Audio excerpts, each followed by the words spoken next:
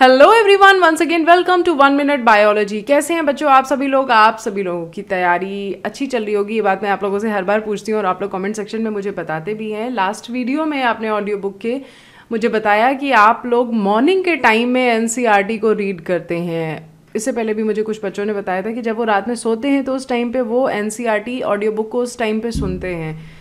तो उनको ज़्यादा अच्छी तरीके से याद होती है। तो ये दो एक्सपीरियंस मेरे पास आए बच्चों के तो मैंने आपके साथ में शेयर करे। बाकी तो आप और वीडियो में जाकर के उनके कमेंट सेक्शन में देख सकते हैं कि बच्चे किस तरह से बुक को लेकर के पढ़ते हैं। कुछ बच्चों ने बताया कि जब वो ऑडियो बुक को सुनते हैं तो उस टाइम पर वो अपनी एन e भी लेकर के बैठते हैं और उसे वो प्रॉपरली अंडरलाइन भी करते जाते हैं। तो जब कभी आपको ऐसा फील होता है कि लाइक आप पढ़ते पढ़ते ओवर थिंकिंग करने लगते हैं, कहीं से कहीं और पहुँच जाते हैं तो उस टाइम पर ये ऑडियो बुक आपको इधर उधर भटकने नहीं देती है। वो सीधे आपके कानों में वही वर्ड्स चल रहे होते हैं जो आपको सामने दिख रहे होते हैं। तो यकीन मानिए, ये एक बहुत अच्छा तरीका है किसी चैप्टर को कम से कम टाइम में रिवाइज करने का। तो आई होप कि आप लोग इसको ज़रूर सुनेंगे और अपने दोस्तों के साथ में भी अपने एक्सपीरियंस को शेयर करेंगे और साथ ही साथ में इन ऑडियो बुक्स को उन तक भी पहुंचाएँगे जहाँ तक अभी नहीं पहुँच पाई हैं। तो चलिए स्टार्ट करते हैं। आज मैं करूँगी क्लास इलेवेंथ का चैप्टर थर्टीन उच्च पादपों में प्रकाश संश्लेषण। लेकिन उससे पहले मैं आपको बताना चाहूँगी या वापस याद दिलाना चाहूँगी वन मिनट बायोलॉजी के बारे में कि आप लोग आई होप कि वन मिनट बायोलॉजी के वीडियोस सारे देख रहे होंगे। इन जस्ट वन मिनट मैं उन टॉपिक्स को रिवाइज करा रही हूँ, जिनसे नीट में क्वेश्चन हर साल लगभग पूछे जा रहे हैं बार बार रिपीट हो रहे हैं। तो तो उन वीडियोस को देखना मत भूलिएगा। तो चलिए अब स्टार्ट करते हैं टाइम वेस्ट नहीं करते हैं। सभी प्राणी यहाँ तक कि मानव भी आहार के लिए पौधों पर निर्भर है। क्या आपने कभी सोचा है कि पौधे अपना आहार कहाँ से प्राप्त करते हैं? वास्तव में हरे पौधे अपना आहार संश्लेषित करते हैं तथा अन्य सभी जीव अपनी आवश्यकता के लिए उन पर निर्भर रहते हैं। हरे पौधे अपने लिए आवश्यक भोजन का निर्माण अथवा संश्लेषण, प्रकाश संश्लेषण द्वारा करते हैं, अतः वे स्वपोषी कहलाते हैं। आप पहले ही पढ़ चुके हैं कि स्वपोषी संश्लेषण केवल पौधों में ही पाया जाता है, तथा अन्य सभी जीव जो अपने भोजन के लिए पौधों पर निर्भर करते हैं, विषम पोषी कहलाते हैं। यह एक ऐसी भौतिक रासायनिक प्रक्रिया है जिसमें कार्बनिक यौगिकों को संश्लेषित करने के लिए प्रकाश ऊर्जा का प्रयोग करते हैं। अंतः कुल मिलाकर पृथ्वी पर होने वाले सारे जीव ऊर्जा के लिए सूर्य के प्रकाश पर निर्भर करता है। पौधों द्वारा प्रकाश संश्लेषण में उपयोग की गई सूर्य ऊर्जा पृथ्वी पर जीवन का आधार है। प्रकाश संश्लेषण के महत्वपूर्ण होने के दो कारण हैं। यह पृथ्वी पर समस्त खाद्य पदार्थों का प्राथमिक स्रोत है तथा यह वायुमंडल में ऑक्सीजन छोड़ता है। क्या आपने कभी ये सोचा है कि यदि सांस लेने के लिए ऑक्सीजन ना हो तो क्या होगा? इस अध्याय में प्रकाश संश्लेषी तथा विभिन्न प्रतिक्रियाओं के विषय में बताया जाएगा जो प्रकाश ऊर्जा को रासायनिक ऊर्जा में रूपांतरित करती हैं। 13.1 हम क्या जानते हैं? आइए अब पहले ये पता करें कि हम प्रकाश संश्लेषण के विषय में क्या जानते हैं। पिछली कक्षाओं में आपने कुछ सरल प्रयोग किए होंगे, जिनसे पता लगा होगा कि क्लोरोफिल पत्तियों का हरा वर्णक प्रकाश तथा कार्बन डाइऑक्साइड प्रकाश संश्लेषण के लिए आवश्यक है। आपने शायद वेरिगेट पत्तियों तथा उस पर अथवा उस पत्ती में जिसमें आंशिक रूप से काले कागज़ से ढक दिया गया हो और प्रकाश में रखा हो, जिसे स्टार्च बनाने का प्रयोग को, किया होगा। स्टार्च के लिए इन पत्तियों के परीक्षण से ये बात प्रकट होती है कि प्रकाश संश्लेषण क्रिया सूर्य के प्रकाश में पेड़ के केवल हरे भाग में संपन्न होती है। आपने एक अन्य प्रयोग आधी पत्ती से किया होगा, जिसमें एक पत्ती का आंशिक भाग परख नली के अंदर रखा होगा और इसमें के से भीगी हुई रुई भी रखी होगी। के ओ एच को अवशोषित करता है, जबकि शेष भाग को प्रकाश में रहने दिया होगा। इसके बाद इस उपकरण को कुछ समय के लिए धूप में रखा जाता है। कुछ समय के बाद आप स्टार्च के लिए पत्ती का परीक्षण करते हैं। इस परीक्षण से आपको पता लगेगा कि पत्ती का जो भाग परख नली में था, उसने स्टार्च की पुष्टि नहीं की है और जो भाग प्रकाश में था, उसने स्टार्च की पुष्टि की है। इस प्रयोग से यह सिद्ध होता है कि प्रकाश संश्लेषण के लिए कार्बन डाइऑक्साइड आवश्यक है। क्या आप इसका वर्णन कर सकते हैं? ऐसा निष्कर्ष किस प्रकार निकाला जा सकता है? 13.2 प्रारंभिक प्रयोग। उन साधारण प्रयोगों के विषय में जानना काफ़ी रुचिकर होगा, जिनसे प्रकाश संश्लेषण की प्रक्रिया क्रमिक विकसित हुई है। जोसेफ प्रीस्ले 1733 टू 1804 ने 1770 में बहुत से प्रयोग किए जिनसे पता लगा कि हरे पौधों की वृद्धि में हवा की एक अनिवार्य भूमिका है। आपको याद होगा कि प्रीस्ले ने 1774 में ऑक्सीजन की खोज की थी। प्रीस्ले ने देखा कि एक बंद स्थान जैसे कि एक बेल जार में जलने वाली मोमबत्ती जल्द ही बुझ जाती है। इसी प्रकार किसी चूहे का सीमित स्थान में जल्दी ही दम घुट जाएगा। इन अवलोकनों के आधार पर उन्होंने ये निष्कर्ष निकाला कि चाहे जलती मोमबत्ती हो अथवा कोई प्राणी जो वायु में सांस लेते हैं, वे हवा को क्षति पहुंचाते हैं। लेकिन जब उसने उसने उसी बेल जार में एक पुदीने के पौधे को रखा तो उसने पाया कि चूहा जीवित रहा और मोमबत्ती भी सतत जलती रही। इस आधार पर प्रीसले ने निम्न परिकल्पना की कि पौधे उस वायु की क्षतिपूर्ति करते हैं जिन्हें सांस लेने वाले प्राणी और जलती हुई मोमबत्ती कम कर देती है। क्या आप कल्पना कर सकते हैं कि प्रीस्टले ने प्रयोग करने के लिए एक मोमबत्ती एवं पौधों का उपयोग कैसे किया होगा? याद रखें कि उस मोमबत्ती को कुछ दिनों बाद पुनः जलाने की आवश्यकता होगी, ताकि यह पता कर सके कि कुछ दिनों बाद वह जलेगी अथवा नहीं। सेटअप को बिना बाधित किए आप मोमबत्ती को जलाने के लिए कितनी विधियों के बारे में सोच सकते हो? जॉन इंजन हाउस ने 17 1730 टू 1799 ने प्रीस्ले द्वारा निर्मित जैसे सेटअप का उपयोग किया। जिसमें उसने उसे एक बार अंधेरे में और फिर एक बार सूर्य की रोशनी में रखा। इससे यह पता लगा कि पौधों की इस प्रक्रिया में सूर्य का प्रकाश अनिवार्य है। यह जलती हुई मोमबत्ती या सांस लेने वाले प्राणियों द्वारा खराब हुई वायु को शुद्ध बनाता है। इंजन हाउस ने अपने एक परिष्कृत प्रयोग में एक जली पौधे के साथ यह दिखाया कि तेज धूप में पौधे के हरे भाग के आसपास छोटे छोटे बुलबुले बन गए थे, जबकि अंधेरे में रखे गए पौधे के आसपास बुलबुले नहीं बने थे। बाद में उसने इन बुलबुलों की पहचान ऑक्सीजन के रूप में की थी। अतः उसने यह दिखा दिया कि पौधे का केवल हरा भागी ऑक्सीजन को छोड़ सकता है। 1854 से पहले तक इसकी जानकारी नहीं थी, किंतु जूलियस वॉन सेचस ने यह प्रमाण दिया कि जब पौधा वृद्धि करता है, तब ग्लूकोज बनती है। ग्लूकोज प्राय स्टार्च के रूप में संचित होता है। इसके बाद के अध्ययनों से यह पता लगा कि पौधों का हरा पदार्थ, जिसे क्लोरोफिल कहते हैं, पौधों की कोशिकाओं में विस्थित, विशिष्ट भाग, जिसे क्लोरोप्लास्ट कहते हैं, में होता है। उसने बताया कि पौधे के हरे भाग में ग्लूकोज बनता है और ग्लूकोज प्राय स्टार्च के रूप में संचित होता है। अब आप टी डब्ल्यू एंजलमैन द्वारा किए गए रोचक प्रयोग पर ध्यान दें। उसने प्रिज्म की सहायता से प्रकाश को स्पेक्ट्रमी घटकों से अलग किया और फिर एक हरे शैवाल क्लैडोफोरा को जिसे ऑक्सी बैक्टीरिया के निलंबन में रखा गया था को प्रदीप्त किया। बैक्टीरिया का उपयोग ऑक्सीजन निकलने का केंद्र पता लगाने के लिए था। उसने पाया कि बैक्टीरिया प्रमुखता लाल एवं नीले प्रकाश क्षेत्रों में एकत्र हो गए थे। इस तरह से प्रकाश संश्लेषण का पहला सक्रिय स्पेक्ट्रम वर्णित किया गया। यह मोटे तौर पर क्लोरोफिल ए एवं क्लोरोफिल बी अवशोषण स्पेक्ट्रा से मेल खाता है। 19वीं सदी के मध्य तक पादप प्रकाश संश्लेषण की सभी मुख्य विशिष्टताओं के बारे में पता चल चुका था। जैसा कि पौधे CO2 तथा पानी से प्रकाश ऊर्जा का उपयोग कर कार्बोहाइड्रेट्स बनाते हैं ऑक्सीजन उत्पन्न करने वाले जीवों में प्रकाश संश्लेषण की कुल प्रतिक्रिया को आनुभाविक समीकरण द्वारा प्रस्तुत किया गया। CO2 plus H2O in the presence of sunlight, it is forming CH2O O O2 जहाँ पर सी एच टू ओ एक कार्बोहाइड्रेट जैसे ग्लूकोज का प्रतिनिधित्व करता है। एक सूक्ष्म जीव वैज्ञानिक कॉर्नेलियस वैन नील 1897 टू 1985 के प्रयोग ने प्रकाश संश्लेषण को समझने में मील के पत्थर का काम किया। उसका अध्ययन बैंगनी एवं हरे बैक्टीरिया पर आधारित था। उन्होंने बताया कि प्रकाश संश्लेषण एक प्रकाश आधारित प्रतिक्रिया है, जिसमें ऑक्सीकरणी यौगिक से प्राप्त हाइड्रोजन कार्बन डाइऑक्साइड को अपचयित करके कार्बोहाइड्रेट बनाते हैं। इसे निम्नलिखित रूप से व्यक्त किया जा सकता है। Two H two A plus C O two in the presence of light, it is forming two A plus C H two O plus H two O. हरे पौधे में एच टू ओ हाइड्रोजन दाता है और ऑक्सीकृत होकर ओ टू देता है। कुछ जीव प्रकाश संश्लेषण के दौरान O2 मुक्त नहीं करते हैं। जब H2S बैंगनी एवं हरे बैक्टीरिया के लिए हाइड्रोजन दाता होता है तो ऑक्सीकरण उत्पाद जीवों के अनुसार सल्फ़र अथवा सल्फेट होता है, ना कि ऑक्सीजन। इससे उन्होंने निष्कर्ष निकाला कि हरे पौधों द्वारा निकाली गई ऑक्सीजन H2O से आती है, ना कि कार्बन डाइऑक्साइड से। बाद में यह बात रेडियो आइसोटोपिक तकनीक के उपयोग से सही प्रमाणित हुई, इसलिए कुल प्रकाश संश्लेषण को प्रस्तुत करने वाला सही समीकरण निम्न है। 6CO2 plus 12H2O gives out C6H12O6 plus 6H2O O 6O2 in the presence of sunlight यहाँ पर ग्लूकोज का प्रतिनिधित्व C6H12O6 करता है। जल से निकलने वाली ओ टू को रेडियो आइसोटोपिक तकनीक से सिद्ध किया जा चुका है। यह एक एकल क्रिया नहीं है, बल्कि बहुचरणीय प्रक्रम का वर्णन है, जिसे प्रकाश संश्लेषण कहते हैं। क्या आप यह वर्णन करेंगे कि उपरोक्त समीकरण में जल के 12 अणुओं का क्रियाधार के रूप में क्यों प्रयोग किया गया है? 13.3 प्रकाश संश्लेषण कहाँ संपन्न होता है? अध्याय आठ में पढ़ने के बाद निश्चित ही आपका उत्तर होगा कि हरी पत्तियों में। आप कह सकते हैं कि क्लोरोप्लास्ट में। निश्चित ही आपका उत्तर सही है। प्रकाश संश्लेषण क्रिया हरी पत्तियों में तो संपादित होती ही है, लेकिन ये पौधों के अन्य सभी हरे भागों में भी होती है। क्या आप पौधों के कुछ अन्य भागों के नाम बता सकते हैं जहाँ प्रकाश संश्लेषण संपादित हो सकता है?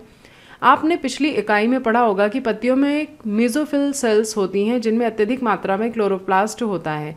सामान्यतः क्लोरोप्लास्ट मीजोफिल सेल्स के भित्ति के साथ पंक्तिबद्ध होता है, जिसके, जिससे कि वे इष्टतम मात्रा में आपतित प्रकाश प्राप्त कर सकें।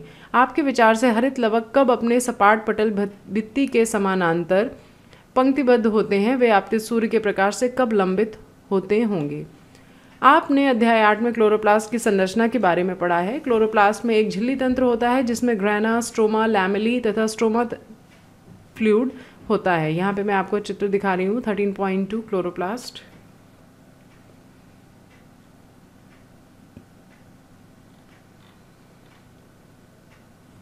chloroplast में सुस्पष्ट श्रम विभाजन होता है। झिल्ली तंत्र प्रकाश तंत्र ऊर्जा को ग्रहण करता है और एटीपी एवं एनएडीपीएच का संश्लेषण करता है।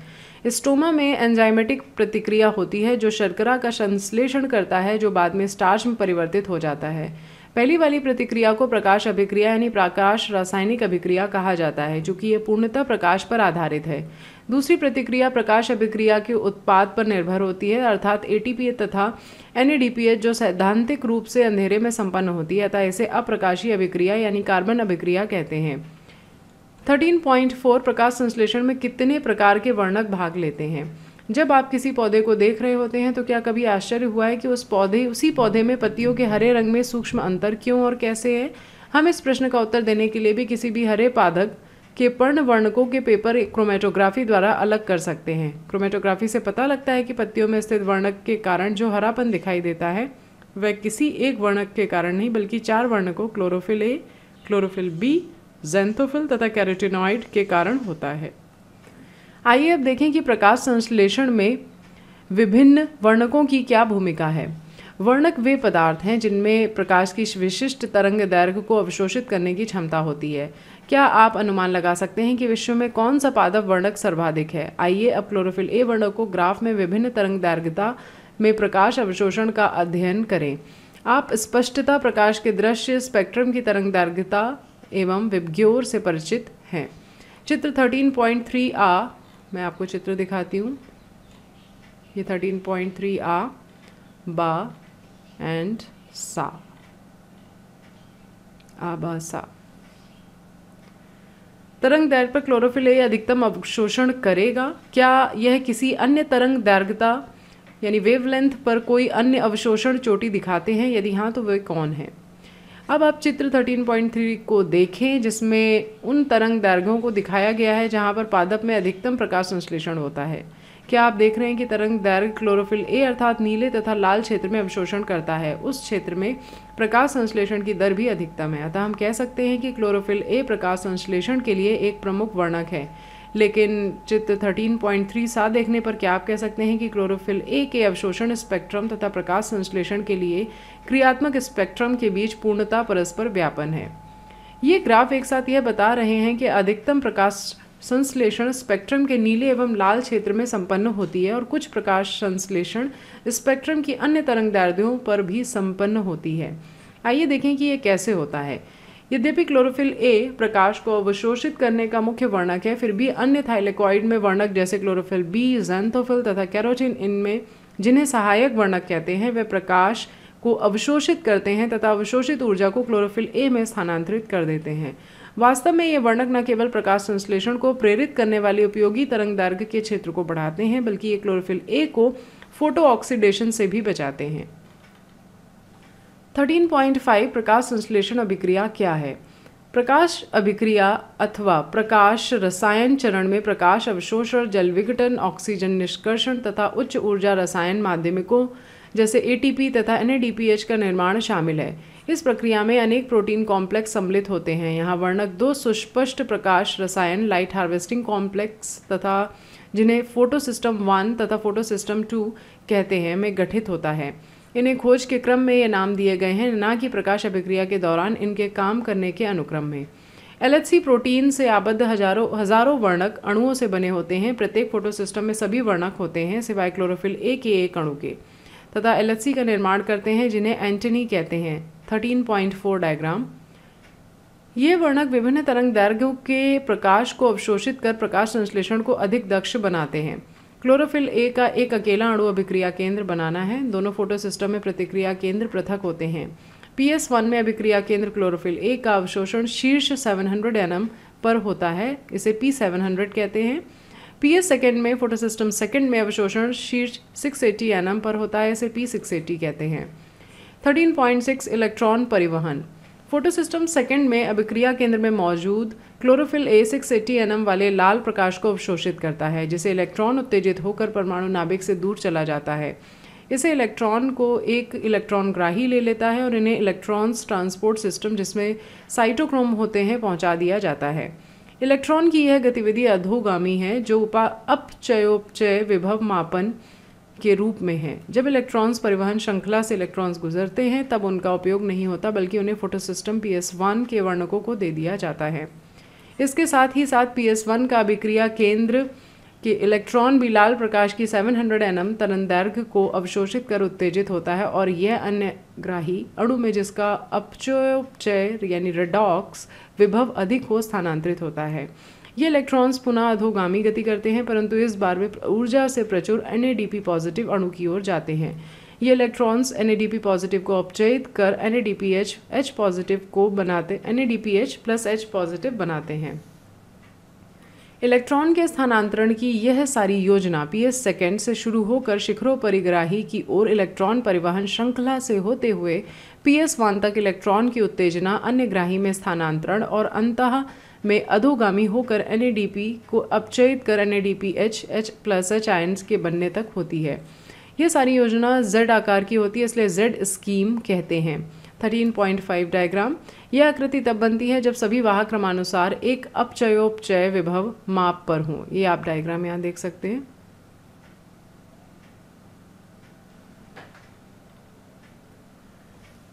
Thirteen point six one thirteen point six point one जल का विघटन। अब आप पूछेंगे कि पी एस सेकेंड कैसे इलेक्ट्रॉन की आपूर्ति निरंतर करता है? वे इलेक्ट्रॉन जो फ़ोटो सिस्टम सेकेंड में निकलते हैं, उनकी जगह निश्चित ही दूसरों को लेनी चाहिए। जल का विघटन का संबंध फोटोसिस्टम सेकेंड से है। जल एच आयन ऑक्सीजन तथा इलेक्ट्रॉन में विघटित होता है। इससे ऑक्सीजन उत्पन्न होती है, जो प्रकाश संश्लेषण का एक शुद्ध उत्पाद है। फोटोसिस्टम वन से निकलने वाले इलेक्ट्रॉन फोटोसिस्टम सेकेंड से उपलब्ध कराए जाते हैं। हमें ये अच्छी प्रकार से जान लेना चाहिए कि जल विघटन फोटोसिस्टम सेकेंड से संबंधित है, जो थाइलेकोइड की झिल्ली के भीतर की ओर होता है। तब इस दौरान बनने वाले प्रोटॉन्स एवं ऑक्सीजन कहाँ मुक्त होते हैं? ल्यूमन में अथवा झिल्लिका के बाहर की ओर। 13.6.2 चक्रीय एवं अचक्रीय फोटोफॉस्फोरिलेशन या फोटोफॉस्फोराइलेशन जीवों में ऑक्सीकरणीय पदार्थों से ऊर्जा निकालने तथा उसे बंध ऊर्जा के रूप में संचय करने की क्षमता होती है। विशेष पदार्थ जैसे एटीपी इस ऊर्जा को अपने रासायनिक बंध में संजोए रखती है। कोशिकाओं द्वारा, यानी माइटोकॉन्ड्रिया तथा क्लोरोप्लास्ट में एटीपी के संश्लेषण की प्रक्रिया को फॉस्फोराइलेशन कहते हैं। फोटोफॉस्फोराइलेशन यह प्रक्रिया है जिसमें प्रकाश की उपस्थिति में एडीपी तथा कार्बनिक फॉस्फेट से एटीपी का संश्लेषण होता है। जब दो फ़ोटो सिस्टम क्रमिक कार्य करते हैं, जिसमें पी एस सेकेंड पहले और पी एस फ़र्स्ट दूसरे क्रम में कार्य करें तो इस प्रक्रिया को अचक्रीय फोटोफॉस्फोराइलेशन कहते हैं। ये दोनों फ़ोटो सिस्टम एक इलेक्ट्रॉन परिवहन श्रृंखला से जुड़े होते हैं, जैसा कि पहले जेड स्कीम में देख चुके हैं। एटीपी तथा एन प्लस एच दोनों ही मिलकर इस प्रकार के इलेक्ट्रॉन प्रवाह द्वारा संश्लेषित होते हैं। डायग्राम 13.5 आप ऑलरेडी देख चुके हैं। जब केवल फोटोसिस्टम वन क्रियाशील होता है, तब इलेक्ट्रॉन फोटोसिस्टम में ही घूमता रहता है और फॉस्फोराइलेशन इलेक्ट्रॉन चक्रीय प्रवाह के कारण होता है। डायग्राम 13.6 यहाँ पर आप देख सकते हैं। यह प्रवाह संभवतः स्ट्रोमा लैमली में होता है, ग्राना की झिल्ली अथवा लैमली में फोटोसिस्टम वन एवं फोटोसिस्टम सेकेंड दोनों ही होते हैं, जबकि स्ट्रोमा लैमली झिल्लियों में पी एस सेकेंड एवं N D P N A D P reductase enzyme नहीं होते। उत्तेजित इलेक्ट्रॉन एन पॉजिटिव में पारित नहीं होता, बल्कि वापस फोटोसिस्टम वन कॉम्प्लेक्स में इलेक्ट्रॉन प्रवाह श्रृंखला द्वारा चक्रित होता रहता है। अतः चक्रीय प्रवाह में केवल एटीपी का संश्लेषण होता है, ना कि N A D P H plus H ion का। चक्रीय फोटोफॉस्फोराइलेशन तब होता है जब उत्तेजना के लिए प्रकाश का लैम्डा या फिर वेव लेंथ 680 एनएम से अधिक हो। 13.6.3 रसो परासरणी परिकल्पना, यानी कीमो ऑस्मोटिक हाइपोथेसिस आइए अब हम ये समझने का प्रयत्न करें कि क्लोरोप्लास्ट में एटीपी कैसे संश्लेषित होता है। इस प्रक्रम का वर्णन रसोपरासरणी परिकल्पना द्वारा कर सकते हैं। श्वसन की भांति ही प्रकाश संश्लेषण में भी एटीपी का प्रकाश एटीपी का संश्लेषण एक झिल्लिका के आर पार प्रोटॉन प्रवणता के कारण होता है।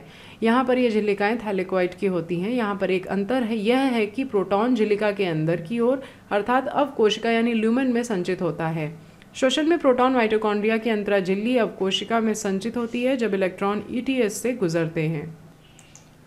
आइए यह समझें कि किन कारणों से प्रोटॉन प्रवणता झिल्लिका के आर पार होती है। हमें पुनः उन प्रक्रियाओं पर ध्यान देना होगा जो इलेक्ट्रॉन की सक्रियता और उनके परिवहन के समय संपन्न होता है, ताकि उन चरणों को सुनिश्चित किया जा सके जिनके कारण प्रोटॉन प्रवणता का विकास होता है। आ, चूँकि जल के अणु का विघटन झिल्लिका के अंदर की तरफ़ होता है, अतः जल के विघटन से उत्पन्न हाइड्रोजन, आयन अथवा प्रोटॉन थाइलेक्वाइड अवकाशिका यानी ल्यूमेन में संचित होते हैं। बा जैसे ही इलेक्ट्रॉन्स फ़ोटो सिस्टम के माध्यम से गति करते हैं, प्रोटॉन झिल्लिका के पार चला जाता है। ऐसा इसलिए होता है क्योंकि इलेक्ट्रॉन का प्राथमिक ग्राही जो कि झिल्लिका के बाहर की ओर स्थित होता है, यह अपने इलेक्ट्रॉन को एक इलेक्ट्रॉन वाहक को स्थानांतरित नहीं करता, बल्कि एक हाइड्रोजन वाहक को करता है। अतः इलेक्ट्रॉन प्रवाह के समय यह अणु स्ट्रोमा से एक प्रोटॉन को ले लेता है। जब यह अणु अपने इलेक्ट्रॉन को झिल्ली के भीतरी ओर स्थित इलेक्ट्रॉन वाहक को देता है, तब प्रोटॉन के अंदर ओर अथवा झिल्ली की अवकाशिका की ओर मुक्त होता है। सा एनएडीपी रिडक्टेज एंजाइम झिल्ली के स्ट्रोमा की ओर होता है। फोटोसिस्टम वन के इलेक्ट्रॉन ग्राही से आने वाले इलेक्ट्रॉन्स के साथ साथ प्रोटॉन एनएडीपी पॉजिटिव को एनएडीपीएच प्लस एच आयन में अपचयित करने के लिए आवश्यक होता है। ये प्रोटॉन स्ट्रोमा पीटिका से ही आते हैं। 13.7 आप देख सकते हैं। रसोपरासरण के द्वारा एटीपी का फॉर्मेशन अतः क्लोरोप्लास्ट में स्थित स्ट्रोमा में प्रोटॉन की संख्या घटती है, जबकि ल्यूमन में प्रोटॉन का संचयन होता है। इस प्रकार यह थैलेक्वाइड झिल्ली के आर पार एक प्रोटॉन प्रवणता उत्पन्न होती है, साथ ही साथ ल्यूमन में पीएच भी कम हो जाता है। हमारे लिए प्रोटॉन प्रवणता इतना महत्वपूर्ण क्यों है? प्रोटॉन प्रवणता इसलिए महत्वपूर्ण है, चूँकि प्रवणता टूटने पर एटीपी का संश्लेषण होता है और ऊर्जा मुक्त होती है। यह प्रवणता इसलिए भंग होती है क्योंकि प्रोटॉन झिल्लिका में मौजूद एटीपी सिंथेस के पारगमन वाहिका सी एफ़ नॉट के माध्यम से स्ट्रोमा में गतिशील होता है। आपने अध्याय 12 में एटीपी तथा एटीपी सिंथेस एंजाइम के बारे में पढ़ा है। आपको याद होगा कि एटीपी सिंथेस एंजाइम के दो भाग होते हैं, एक एफ़ शून्य यानी एफ़ नॉट कहलाता है, जो झिल्लिका में अंतः स्थापित होता है, तथा एक पारगमन झिल्लिका चैनल का रचना करता है, जो कि झिल्लिका के आर पार प्रोटॉन के विसरण की ओर आगे बढ़ाता है। इसके दूसरा भाग F1 कहलाता है, जो थाइलेक्वाइड की बाहरी सतह जो स्ट्रोमा की ओर होती है और उधर्व के रूप में होता है, प्रवणता का भंजन पर्याप्त ऊर्जा प्रदान करता है। जिसके कारण एटीपी सिंथेस के कण F1 में संरूपण परिवर्तन आता है, जिससे कि एंजाइम ऊर्जा से प्रचुर एटीपी का संश्लेषण कर सके। रसोपरासरण यानी कीमो ऑस्मोसिस के लिए एक झिल्लिका, एक प्रोटॉन पंप एक प्रोटॉन प्रवणता तथा एटीपी सिंथेस की आवश्यकता होती है। प्रोटॉन को एक झिल्लिका के आर पार पंप करने के लिए ऊर्जा का उपयोग होता है ताकि थाइलेकोइड ल्यूमन में एक प्रवणता अथवा प्रोटॉन की उच्च सांद्रता पैदा हो सके। एटीपी सिंथेस के पास एक चैनल अथवा नलिका होती है जो झिल्लिका के आर पार प्रोटॉन को विसरण का अवसर देता है। ये एटीपी सिंथेस एंजाइम को सक्रिय करने के लिए पर्याप्त ऊर्जा छोड़ता है, जो एटीपी संश्लेषण को उत्प्रेरित करता है। इलेक्ट्रॉन की गतिशीलता से उत्पादित एनएडीपीएच के साथ एटीपी भी स्ट्रोमा में संपन्न होने वाले जैव विश्लेषण में तुरंत उपयोग कर लिए जाएँगे, जो सी के स्थिर, स्थिरण एवं शर्करा के संश्लेषण के लिए आवश्यक है। 13.7 एटीपी तथा एन ए कहाँ उपयोग होते हैं? हमने पढ़ा है कि प्रकाश अभिक्रिया के उत्पाद एटीपी एनएडीपीएच तथा O2 उनमें, इनमें से O2 क्लोरोप्लास्ट के बाहर विसरित होती है, जबकि एटीपी तथा एनएडीपीएच का उपयोग आहार अथवा शर्करा को संश्लेषित करने वाली क्रिया में होता है। यह प्रकाश संश्लेषण का जैव संश्लेषण चरम होता है। यह प्रक्रिया परोक्ष रूप से प्रकाश पर निर्भर नहीं होती, बल्कि यह प्रकाश के प्रक्रियाओं के उत्पादों अर्थात एटीपी तथा एनएडीपीएच के अतिरिक्त सी तथा एच पर निर्भर होती है। आप शायद ये आश्चर्य कर सकते हैं कि इसकी सत्यता की जाँच कैसे की जा सकती है। यह बहुत ही सरल है। प्रकाश उपलब्ध न होने के तुरंत बाद कुछ समय तक के लिए जैव संश्लेषण प्रक्रिया जारी रहती है। और इसके बाद बंद हो जाती है। यदि इसके बाद पुनः प्रकाश उपलब्ध होता तो संश्लेषण पुनः आरंभ हो जाता। अतः जैव संश्लेषण चरण को अप्रकाशीय अभिक्रिया कहना एक मिथ्या है। आपने साथियों के बीच में इसकी चर्चा करें। आइए अब देखें कि जैव संश्लेषण चरण में एटीपी तथा एनएडीपीएच का उपयोग कैसे होता है। हम पहले देख चुके हैं कि H2O के साथ CO2 के मिलने से CH2 होल एन अथवा शर्करा उत्पादित होती है। ये वैज्ञानिकों की रुचि थी कि उन्होंने यह खोजा कि यह प्रतिक्रिया कैसे संपन्न होती है अथवा यह जाना कि सी की प्रतिक्रिया में आने से अथवा यौगिकृत होने से कौन सा पहला उत्पाद बनता है। द्वितीय विश्व युद्ध के ठीक बाद लाभदायी उपयोग हेतु रेडियो आइसोटोपिक का उपयोग किया गया। इस उपयोग में मेलविन कैल्विन का कार्य सराहनीय था। उन्होंने शैवाल में रेडियो एक्टिव फोर्टीन सी का उपयोग प्रकाश संश्लेषण अध्ययन में किया। जिससे पता लगा कि सीओ टू यौगिकीकरण यानी फिक्सेशन पहला उत्पाद एक कार्ब तीन कार्बन वाला कार्बनिक एसिड है। इसके साथ ही उसने संपूर्ण जैव संश्लेषण पद की खोज की, अतः इसे कैल्विन चक्र कहते हैं। इस पहले उत्पाद का नाम three phospho three phosphoglyceric acid अथवा संक्षेप में पीजीए है। इसमें कितने कार्बन परमाणु होते हैं? वैज्ञानिकों ने जानने के ये भी प्रयत्न किया कि क्या सभी पौधे सी यौगिकीकरण के बाद पहला उत्पाद पीजीए ही बनाते हैं। अथवा फिर अन्य पौधों में कई अन्य उत्पाद हैं। बहुत सारे पौधों में व्यापक शोध किए गए, जहाँ पर सी के यौगिकीकरण का पहला स्थायी उत्पाद पुनः एक कार्बनिक अम्ल था जिसमें कार्बन के चार परमाणु थे। ये अम्ल ऑक्जेलो एसिटिक एसिड अथवा ओएए था। तब से प्रकाश संश्लेषण के दौरान CO2 के स्वांगीकरण को दो मुख्य विधियों से बताया गया। जिन पौधों में CO2 यौगिकीकरण का पहला उत्पाद C3 यानी PGA और उसे C3 पथ, जिनका पहला उत्पाद C4 एसिड यानी कि OAA था, उसे C4 पथ कहते हैं। इन दोनों समूह के पौधों में कुछ अन्य अभिलक्षण भी होते हैं, जिनकी हम बाद में चर्चा करेंगे। 13.7.1 CO2 के प्राथमिक ग्राही। आइए अब हम अपने आप से एक प्रश्न पूछें, जैसे कि उन वैज्ञानिकों द्वारा पूछा गया था कि जो अप्रकाशीय अभिक्रिया को समझने के लिए संघर्ष कर रहे थे, उस अणु में कितने कार्बन परमाणु हैं जो CO2 को ग्राह्य करने के बाद तीन कार्बन यौगिक बनाते हैं? अध्ययनों से पता चला कि ग्राही अणु एक पाँच कार्बन वाला कीटोस शुगर था। यह ribulose one comma five bis phosphate R था। क्या आप में से किसी ने इसकी संभावना के बारे में सोचा था? परेशान मत होइए, वैज्ञानिकों को भी इसे जानने में बहुत समय लगा था और किसी निष्कर्ष में पर पहुँचने से पहले बहुत सारे प्रयोग किए गए थे। उन्हें यह भी यकीन था कि चूँकि पहला उत्पाद सी थ्री एसिड था, अतः प्राथमिक ग्राही टू कार्बन कंपाउंड होगा।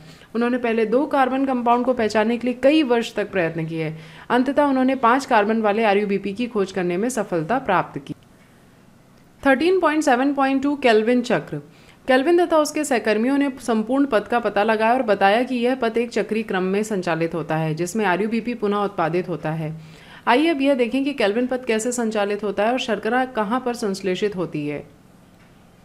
आइए शुरू में ही हम स्पष्ट रूप से समझ लें कि कैल्विन चक्र उन सभी पौधों में होता है जो प्रकाश संश्लेषण करते हैं और इससे कोई फ़र्क नहीं पड़ता कि उनमें चाहे पद सी थ्री अथवा सी फोर हो। यहाँ पे आप कैल्विन साइकिल देख सकते हैं। कैल्विन चक्र को आसानी से समझने के लिए इसको तीन चरणों कार्बोक्सिलीकरण यानी कार्बोक्सिलेशन रिडक्शन तथा रीजनरेशन में वर्णन करते हैं। First one is carboxylation CO2 के यौगिकीकरण से एक स्थिर कार्बनिक मध्यस्थ बनता है। केल्विन चक्र में कार्बोक्सिलेशन एक अत्यधिक निर्णायक चरण है, जहाँ आर के कार्बोक्सिलेशन के लिए CO2 का उपयोग किया जाता है। यह प्रतिक्रिया एंजाइम आर कार्बोक्सिलेस के द्वारा उत्प्रेरित होती है, जिसके परिणाम स्वरूप थ्री पीजीए के दो अणु बनते हैं। चूँकि इस एंजाइम में एक ऑक्सीजनेशन क्षमता भी होती है, अतः यह ज़्यादा उचित होगा कि हम इस एंजाइम एंजाइम को आर यू कार्बोक्सिलेस ऑक्सीजनेस तथा अथवा रूबिस्को कहें। नंबर टू रिडक्शन यह प्रतिक्रियाओं की एक श्रृंखला है जिसमें ग्लूकोज बनता है। इस चरण में प्रत्येक CO2 अणु के स्थिरण हेतु ATP के दो अणुओं का उपयोग फॉस्फोराइलेशन के लिए तथा NADPH के दो अणुओं का उपयोग अपचयन हेतु होता है। पथ से ग्लूकोज के एक अणु को बनाने के लिए CO2 के छह अणुओं के यौगिकीकरण तथा चक्रों की आवश्यकता होती है। थर्ड रीजनरेशन यदि चक्र को बिना बाधा के जारी रखना है तो CO2 ग्राही अणु आरयूबीपी का पुनरुद्भवन बहुत ही आवश्यक होता है। पुनरुद्भवन के चरण में आरयूबीपी गठन हेतु फॉस्फोरिलेशन के लिए एक ATP की आवश्यकता होती है। इसलिए केल्विन चक्र में CO2 के प्रत्येक अणु को प्रवेश के लिए ATP के तीन अणु तथा NADPH के दो अणुओं की आवश्यकता होती है। अप्रकाश अभिक्रिया में उपयोग होने वाले ATP और एन की संख्याओं में यह अंतर ही चक्रीय फॉस्फोरिलेशन को संपन्न कराने का कारण है। ग्लूकोज के एक अणु की रचना के लिए इस चक्र के छह चक्रों की आवश्यकता होती है। यह पता करें कि केल्विन पथ के माध्यम से ग्लूकोज के एक अणु की रचना के लिए कितने एटीपी तथा एनएडीपीएच के अणुओं की आवश्यकता होती है। आपको ये बात शायद समझने में मदद करेगी कि केल्विन चक्र में क्या अंदर जाता है और क्या बाहर निकलता है। अंदर आते हैं six C O two eighteen A T P और twelve N A D P H और बाहर जाते हैं एक glucose twelve eighteen A T P and twelve N A D P 13.8 पथ फोर यानी C four pathway C four pathway जैसा कि पहले बताया गया है कि पौधे जो शुष्क, उष्ण कटिबंधी क्षेत्र में पाए जाते हैं, उनमें सी फोर पथ होता है। इन पौधों में CO2 का यौगिकीकरण का पहला उत्पाद यद्यपि सी फोर ऑक्जेलो एसिटिक अम्ल होता है, फिर भी इनके मुख्य जैव संश्लेषण पथ में सी थ्री पथ अथवा कैल्विन चक्र ही होता है। तब फिर से सी थ्री पौधों से किस प्रकार में भिन्न है, यह एक प्रश्न है जिसे आप पूछ सकते हैं। सी फोर पौधे विशिष्ट हैं। इनकी पत्तियों में एक विशेष प्रकार की शारीरिकी होती है। ये उच्च ताप को सह सकते हैं, ये उच्च प्रकाश तीव्रता के प्रति अनुक्रिया करते हैं। उनमें प्रकाश श्वसन प्रक्रिया नहीं होती, उनमें जैव भार अधिक उत्पन्न होता है। आइए इन्हें एक एक करके समझें। आओ सी थ्री तथा सी फोर पत्तियों की खड़ी काट का अध्ययन करें।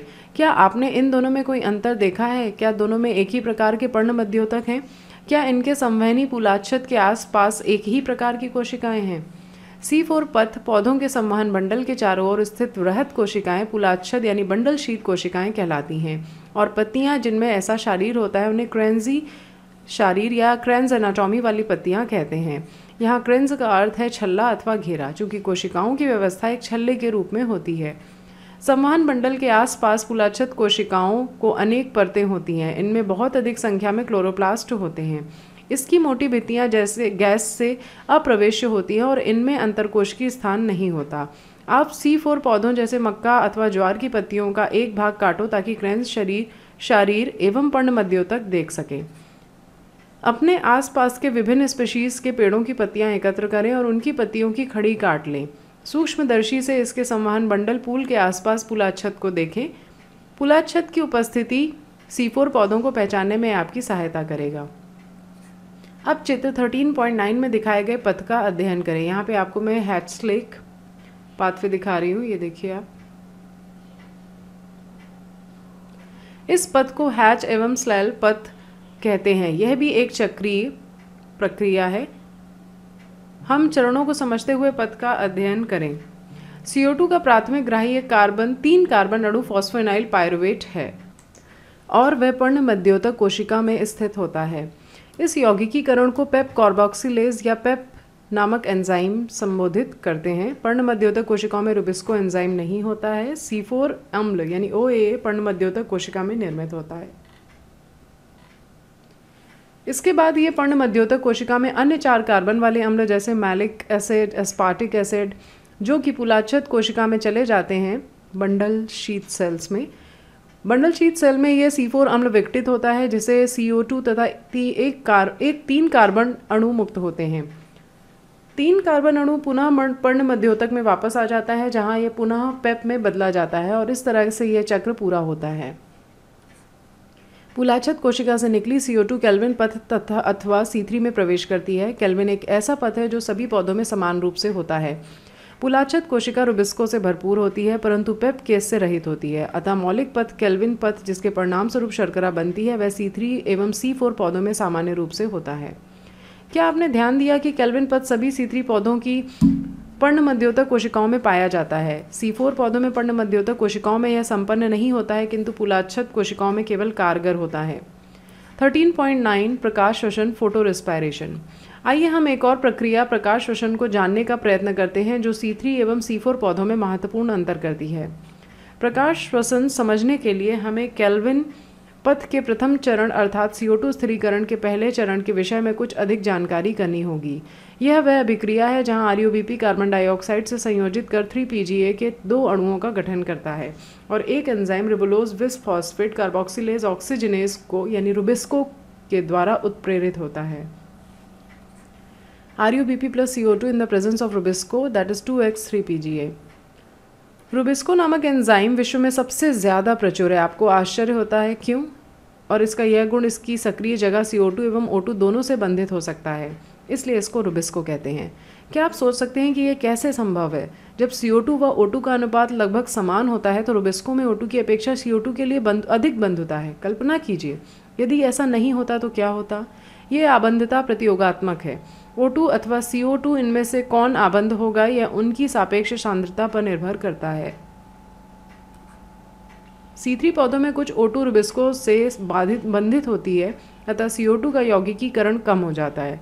यहाँ पर R U B P three P G A के अणुओं में परिवर्तित होने के बजाय ऑक्सीजन से संयोजित होकर चक्र में एक फॉस्फोग्लिसरेट अणु तथा फॉस्फोग्लाइकोलेट का एक अणु बनाते हैं, जिसे प्रकाश श्वसन कहते हैं। प्रकाश श्वसन पथ में शर्करा और एटीपी का संश्लेषण नहीं होता, बल्कि इसमें एटीपी के उपयोग के साथ सी भी निकलती है। प्रकाश श्वसन पथ में एटीपी अथवा एन का संश्लेषण नहीं होता। प्रकाश श्वसन के जैविक कार्य के बारे में अभी तक पता नहीं है। यहाँ पे आप टेबल देख सकते हैं, जिसमें C3 एवं C4 प्लांट के बीच में डिफरेंस दिखाया गया है।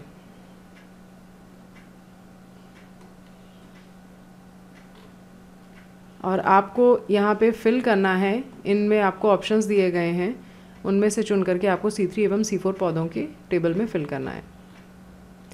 C4 पौधे में प्रकाश श्वसन नहीं होता, इसका कारण ये है कि इनमें एक ऐसी प्रणाली होती है जो एंजाइम स्थल पर CO2 की सांद्रता बढ़ा देती है। ऐसा तब होता है जब पर्ण मध्योतक का C4 एसिड पुलाछत में टूट कर CO2 को मुक्त करता है, जिसके परिणाम स्वरूप CO2 की अंतर कोश की सांद्रता बढ़ जाती है। इससे यह सुनिश्चित हो जाता है कि रुबिस्को कार्बोक्सिलेस के रूप में कार्य करता है, जिससे इसकी ऑक्सीजनेस के रूप में कार्य करने की क्षमता कम हो जाती है। अब आप जानते हैं कि सी फोर पौधों में प्रकाश स्वशन नहीं होता। अब आप संभवतः, आप समझ गए होंगे कि इन पौधों में उत्पादकता एवं उत्पादन क्यों अच्छा होता है। इसके अतिरिक्त ये पौधे उच्च ताप को भी सहन कर सकते हैं। उपर्युक्त परिचर्चा के आधार पर क्या आप उन पौधों की तुलना कर सकते हो जिसमें सी थ्री तथा सी फोर पद होता है? आप दी गई तालिका का उपयोग कर आवश्यक सूचनाओं को भरें। 13.10 प्रकाश संश्लेषण को प्रभावित करने वाले कारक। प्रकाश संश्लेषण को प्रभावित करने वाले कारकों के विषय में जानना आवश्यक है। प्रकाश संश्लेषण की दर पौधों एवं फसली पादपों के उत्पादन जानने में अत्यंत ही महत्वपूर्ण है। प्रकाश संश्लेषण कई कारकों से प्रभावित होता है, जो बाह्य तथा आंतरिक दोनों ही हो सकते हैं। पादप कारकों में संख्या, आकृति, आयु तथा पत्तियों का विन्यास, पर्ण मध्योतक कोशिकाएँ तथा क्लोरोप्लास्ट, आंतरिक CO2 की सांद्रता और क्लोरोफिल की मात्रा आदि है। पादप अथवा आंतरिक कारक पौधे की वृद्धि तथा अनुवांशिक पूर्वानुकूलता पर निर्भर करते हैं। बाह्य कारक हैं सूर्य का प्रकाश, ताप CO2 की सांद्रता तथा जल। पादप की प्रकाश संश्लेषण प्रक्रिया में ये सभी कारक एक समय में साथ ही साथ प्रभाव डालते हैं। यद्यपि बहुत सारे कारक परस्पर क्रिया करते हैं तथा साथ साथ प्रकाश संश्लेषण अथवा CO2 के यौगिकीकरण को प्रभावित करते हैं। फिर भी प्रायः इनमें से कोई भी एक कारक इस दर, इसकी दर को प्रभावित अथवा सीमित करने के मुख्य कारण बन जाता है।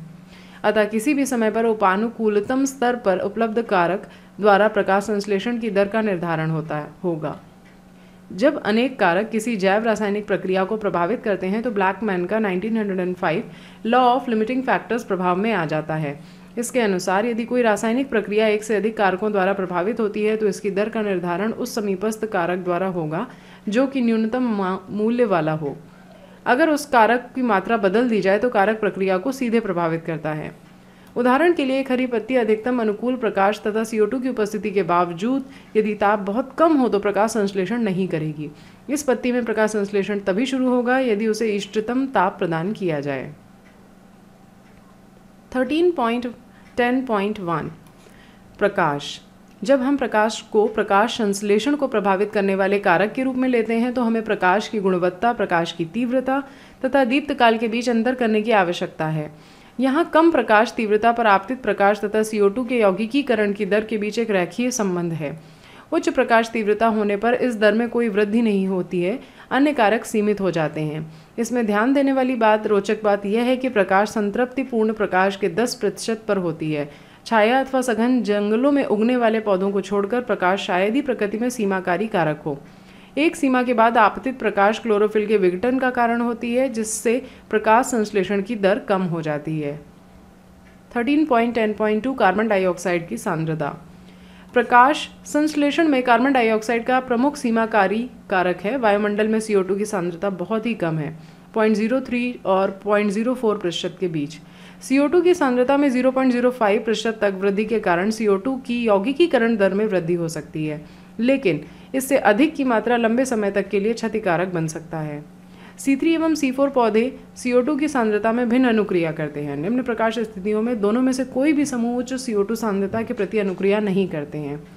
उच्च प्रकाश तीव्रता में C3 तथा C4 दोनों ही तरह के पादपों में प्रकाश संश्लेषण की बड़ी दर अधिक हो जाती है। यहाँ पर यह ध्यान देना महत्वपूर्ण है कि C4 पौधे लगभग 360 micro litre micro per litre पर संतृप्त हो जाते हैं। जबकि सी थ्री बढ़ी हुई सी सांद्रता पर अनुक्रिया करता है, तथा संतृप्तन केवल 450 के बाद ही दिखाती है। अतः उपलब्ध सी का स्तर सी थ्री पादपों के लिए सीमाकारी है। सच यह है कि सी थ्री पौधे उच्चतर सी सांद्रता में अनुक्रिया करते हैं और इसके प्रकाश संश्लेषण की दर में वृद्धि होती है, जिसके फलस्वरूप उत्पादन अधिक होता है और सिद्धांत का उपयोग ग्रीन हाउस फ़सलों जैसे टमाटर एवं बेल मार्च में किया गया है। इन्हें कार्बन डाइऑक्साइड से भरपूर वातावरण में बढ़ने का अवसर दिया जाता है, ताकि उच्च पैदावार हो। Ten, thirteen point, ten point three, ताप। अप्रकाशीय अभिक्रिया एंजाइम पर निर्भर करती है, इसलिए ताप द्वारा नियंत्रित होती है।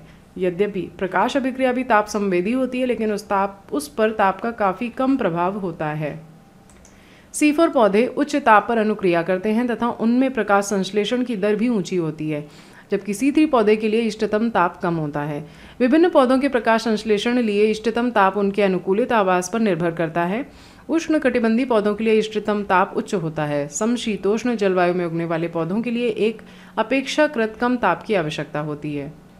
Thirteen point ten point four जल। यद्यपि प्रकाश अभिक्रिया में जल एक महत्वपूर्ण प्रतिक्रिया अभिकारक है तथापि कारक के रूप में जल का प्रभाव पूरे पादप पर पड़ता है, न कि सीधे प्रकाश संश्लेषण पर।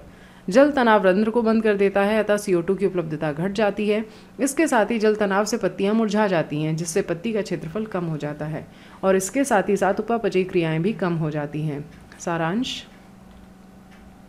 पौधे अपने भोजन को प्रकाश संश्लेषण द्वारा स्वयं तैयार करते हैं।